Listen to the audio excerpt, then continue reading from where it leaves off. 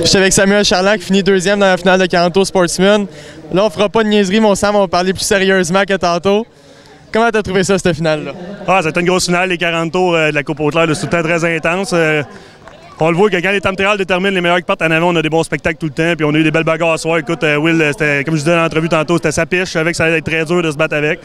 Puis euh, on a travaillé très fort là, dans la dernière relance. Il en manquait pas gros, mais il a été, il a été wise. Le jeune, écoute, il s'en vient très, très fort. Euh, il, y avait, il y avait Cédric aussi troisième, puis euh, Deneau qui s'en venait quatrième. Donc euh, je savais qu'il y avait beaucoup de pression là, pour les dernières relances. Puis d'après moi, le spectacle était super bon dans les estrades. Donc euh, c'est ça, qui, c'est ça qui, est la fin de l'histoire aujourd'hui. là. Super, t'as-tu des commanditaires à remercier avant? Écoute, euh, c'est sûr, euh, pas de commanditaire, on ira aux courses. Euh, On a ProAg, le commanditaire majeur. Après ça, on a tout le groupe Festidrag avec Olivier Ford, de Shelby Canada, Rousseau Metal, Prolon. Euh, deux, deux autres commanditaires qui poussent beaucoup, le Transport Philippe Desgrands, Excavation Lisotte. Justement, le Garage Haute-Claire qui commandite cette année, en plus de commanditer beaucoup d'autres personnes. Donc, je lève mon chapeau à Philippe, puis Steve. Euh, écoute, euh, John Haller, euh, Garage euh, Daniel Gagné, il y a- il y, a éno- énormément. là. Je suis sûr que j'en oublie un, puis demain, il va, il va m'écrire, mais je pense qu'il va être content pour nous autres pareil à soir. Un gros merci, Sam, puis bonne chance demain. Merci.